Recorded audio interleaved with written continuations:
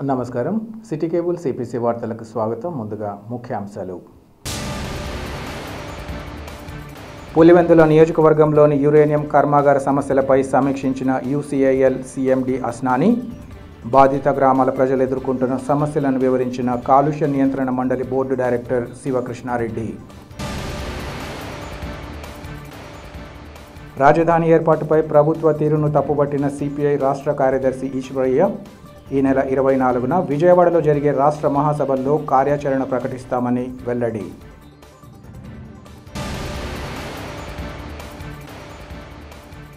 ఘనంగా బీజేపీ జాతీయ కార్యదర్శి సత్యకుమార్ జన్మదిన వేడుకలు. బొమ్మన ఫౌండేషన్ ఆధ్వర్యంలో రక్తదాన శిబిరాలు ఏర్పాటు.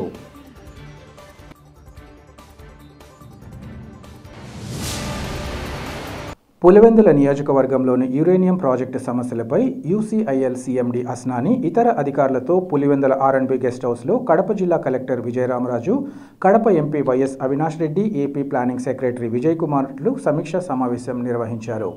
సమావేశానికి ప్రాజెక్టు వల్ల బాధిత గ్రామాల ప్రజలు ఎదుర్కొంటున్న సమస్యలను రాష్ట్ర పొల్యూషన్ కంట్రోల్ బోర్డు డైరెక్టర్ మరక శివారెడ్డి ఎంపీ కలెక్టర్ యూసీఐఎల్ అధికారుల దృష్టికి ఈ సందర్భంగా తీసుకొచ్చారు. అనంతరం పులివెందుల మోడల్ టౌన్ నిర్మాణ పనుల పురోగతిపై కూడా సమీక్షను నిర్వహించారు. ఈ కార్యక్రమంలో OSD Anil Kumar Reddy Pulivendula municipal in-charge YS Manohar Reddy commissioner Narasimhareddy RDO Venkateshulu ఇంకా అన్ని శాఖల అధికారులు పాల్గొన్నారు. మీటింగ్ చాలా పాజిటివ్ ఎన్విరాన్మెంట్ మీటింగ్కి.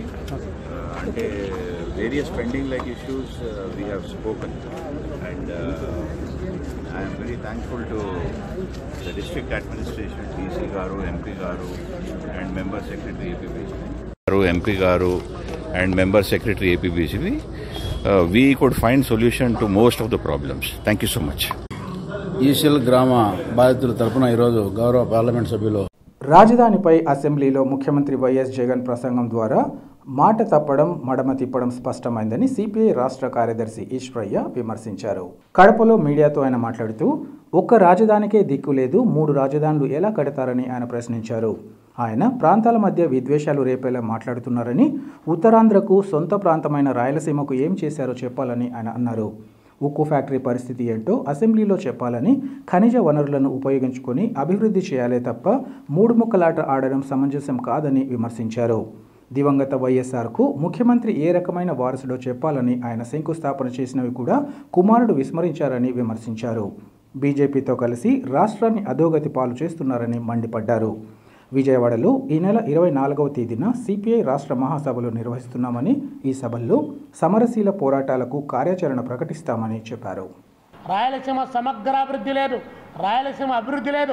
రాయలసీమకు ప్రత్యేక ప్యాకేజ్ అని చెప్పి కొట్లాడితే దానికి సంబంధించినటువంటి అతిగతి లేదు.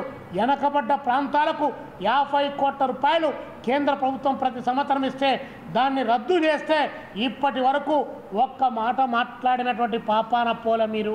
కాబట్టి మీరు ఏ విధంగా ఈ రాష్ట్రాన్ని అభివృద్ధి చేస్తారని చెప్పేసి కమ్యూనిస్టు పార్టీగా మేము అడుగుతా ఉన్నాం. ప్రాజెక్టుల దానికి సంబంధించిన కడప జిల్లాలో ఉన్నటువంటి తెలుగంగ ప్రాజెక్టు కింద పంట కాలువలు పిల్ల కాలువలు ఇంతవరకు పూర్తి కాలేదు. వామికొండ సర్వరాశారులకి కంప్లీట్గా బెడ్ లెవెల్ దాటి ఆ ప్రాంతానికి నీళ్ళు వచ్చినటువంటి పాపాన బాలేదు.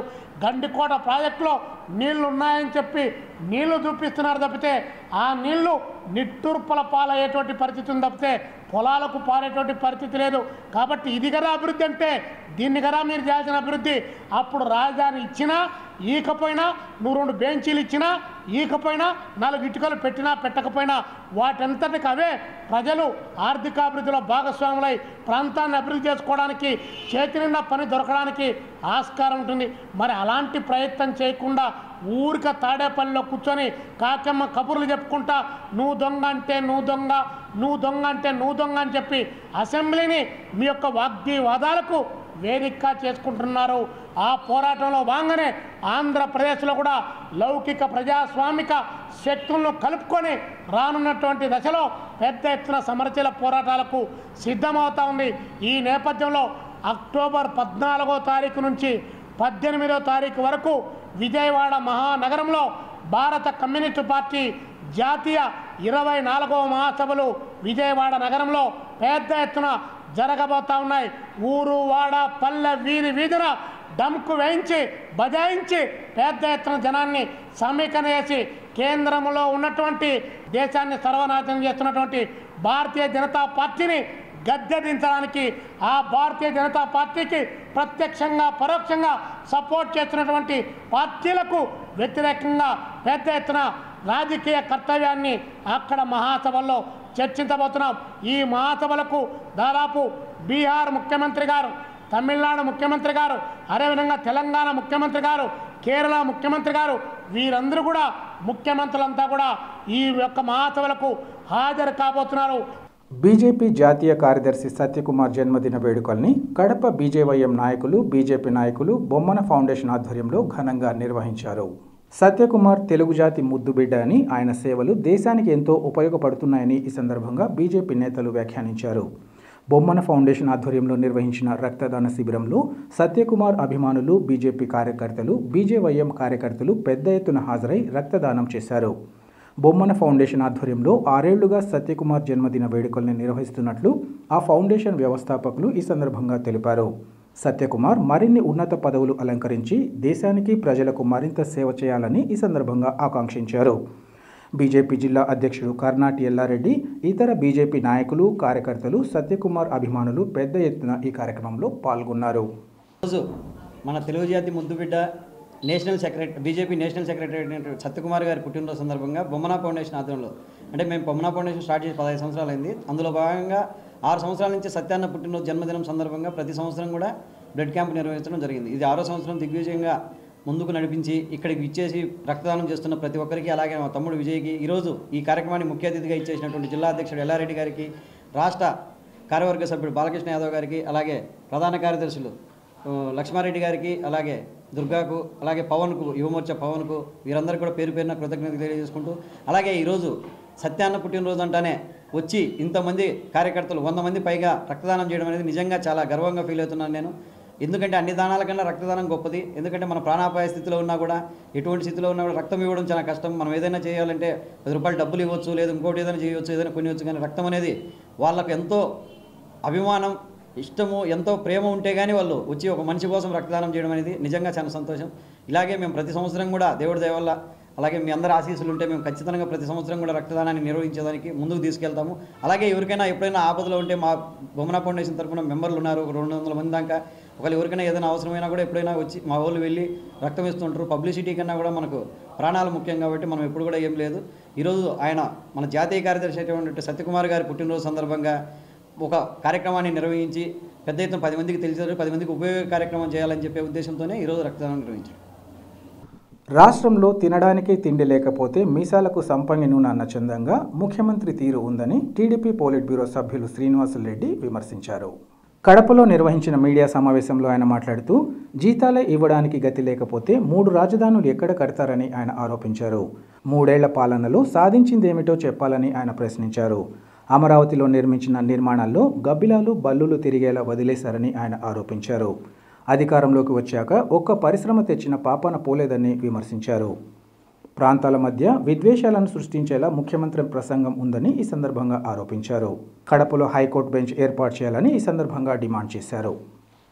ఈరోజు మూడు రాజధానులు కడతానని చెప్పి నేను అసెంబ్లీలో ప్రకటన చేస్తా ఉన్నాడు. నువ్వు ముఖ్యమంత్రి అయిన ఆరు నెలలకే మూడు రాజధానుల ప్రయోగం చేశావు. ఆ మూడు రాజధానుల మీద రెండు సంవత్సరాలుగా అనేక ఉద్యమాలు జరిగినాయి. అన్ని ప్రాంతాల వాళ్ళు కూడా తీవ్రంగా వ్యతిరేకించినారు. చివరకు న్యాయస్థానాలకు పోయినాయి. న్యాయస్థానాలు కూడా కొట్టివేసినాయి. ఇది చట్టము ఇది చట్టపరంగా చెల్లదు. రాష్ట్రానికి అమరావతి రాజధాని అని స్పష్టంగా హైకోర్టు పేర్కొనింది. మళ్ళీ ఈరోజు నిన్న అసెంబ్లీలో తను అనుకునింది సాధించాలని చెప్పి మూడు రాజధానులు ప్రకటన చేస్తున్నావు. ఈ దేశంలో ఎక్కడా కూడా మూడు రాజధానులు లేవు ఈ ప్రపంచంలో కూడా ఎక్కడా లేవు. మరి ఈయనొకడే ఈ ఆలోచన. ఒకసారి హైకోర్టు ఫుల్ బెంచే తీర్పిచ్చింది దాని మీద. మరి సుప్రీంకోర్టుకి ఎందుకు పోలేదు వాళ్ళు? సుప్రీంకోర్టుకు పోయిండాలా? ఈరోజు కేవలం ఇది ఒక ఎన్నికల స్టంట్. అసెంబ్లీలో కూడా ప్రతిపాదన తీసుకురారు. అసెంబ్లీలో మాత్రం మాట్లాడతారు. ఎందుకు? తెలుగుదేశం పార్టీని చంద్రబాబు నాయుడు గారిని ప్రాంతాల మధ్య చెడ్డ చేయాలనే ఆలోచన తప్ప ఈ మూడున్నర సంవత్సర కాలంలో ఎందుకు మూడు రాజధానులు నిర్మించలేకపోయినారు? ఉన్న రాజధానిని ఎందుకు అభివృద్ధి చేయలేకపోయినారు? ఏమీ చేయలేక కేవలం ప్రతిపక్షం మీద బురద జల్లేదానికి ప్రజల్లో మూడు ప్రాంతాల మధ్య చిచ్చు పెట్టేదానికే అసెంబ్లీలో మాట్లాడాడు తప్ప దాన్ని అసెంబ్లీలో ప్రతిపాదన పెట్టలేడు చట్టపరంగా చేయలేడు. మూడు రాజధానుల ప్రతిపాదన పెట్టి ఎన్నికలకు తొందరలో పోవాలని అసెంబ్లీని రద్దు చేసి ఎన్నికలకు పోయి ఆ దాన్ని రెఫరెండంగా తీసుకొచ్చి ఎన్నికల్లో గెలవాలని భావిస్తూ ఉన్నాడు. వేంపల్లి పట్టణంలోని రాజీవ్ నగర్ కాలనీలో వెలిసిన అంకాలమ్మ తల్లి ఆలయానికి వేంపల్లికి చెందిన భక్తుడు నిచ్చెనమెట్ల లింగమూర్తి ధర్మపత్రి లక్ష్మీదేవమ్మ ఇంకా కుటుంబ సభ్యులు కలిసి యాభై వేల రూపాయల విరాళాన్ని అందజేశారు. శుక్రవారం టీడీపీ సీనియర్ నాయకులు మైనార్టీ ఫైనాన్స్ కార్పొరేషన్ మాజీ డైరెక్టర్ మొహమ్మద్ షబ్బీర్ సమక్షంలో అంకాలమ్మ తల్లి ఆలయ నిర్మాణకర్త పాల నారాయణకు నగదు విరాళాన్ని అందించారని తెలిపారు.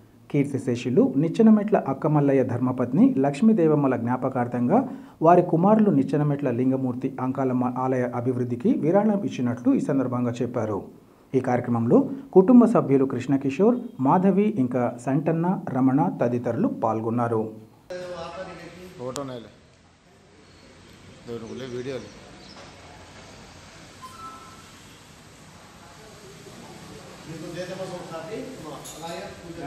నేలే దేవుని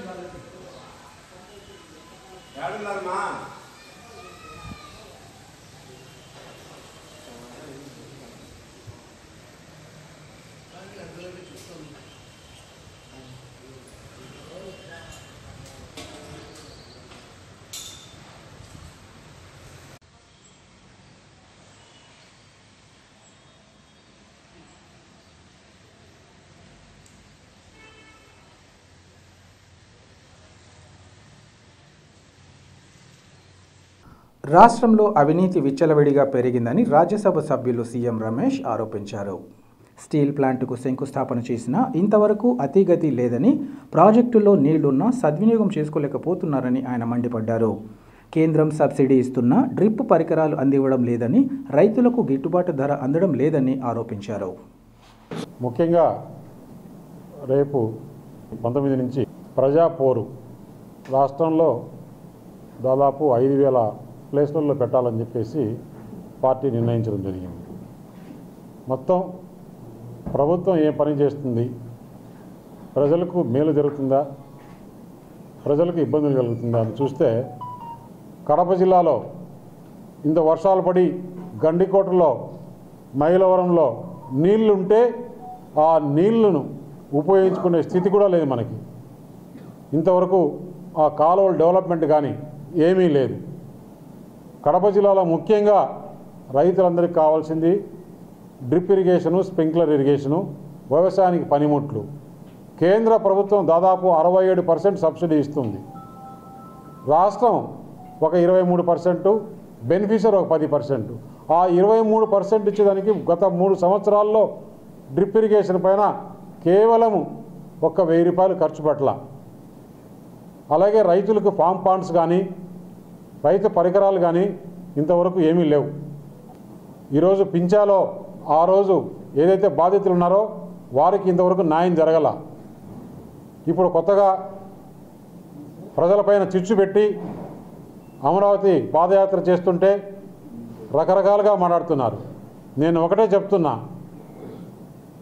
భారతీయ జనతా పార్టీ ప్రధానమంత్రి నరేంద్ర మోడీ గారు ఏదైతే ఫౌండేషన్ వేశారో అమరావతి అదే క్యాపిటల్. ఆ రైతులు పాదయాత్రకు బీజేపీ పార్టీ మద్దతు ఇస్తుంది. వార్తలు ముగించే ముందు ముఖ్యాంశాలు మరోసారి. పులివెందుల నియోజకవర్గంలోని యురేనియం కర్మాగార సమస్యలపై సమీక్షించిన యూసీఐఎల్ సీఎండి అస్నాని బాధిత గ్రామాల ప్రజలు ఎదుర్కొంటున్న సమస్యలను వివరించిన కాలుష్య నియంత్రణ మండలి బోర్డు డైరెక్టర్ శివకృష్ణారెడ్డి. రాజధాని ఏర్పాటుపై ప్రభుత్వ తీరును తప్పుపట్టిన సిపిఐ రాష్ట్ర కార్యదర్శి ఈశ్వరయ్య ఈ నెల ఇరవై నాలుగున విజయవాడలో జరిగే రాష్ట్ర మహాసభల్లో కార్యాచరణ ప్రకటిస్తామని వెల్లడి.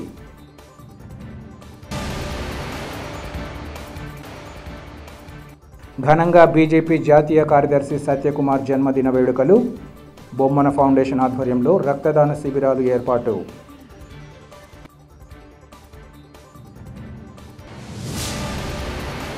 సిటీ కేబుల్ సిపిసి వార్తలు ఇంతటితో సమాప్తం. నమస్కారం.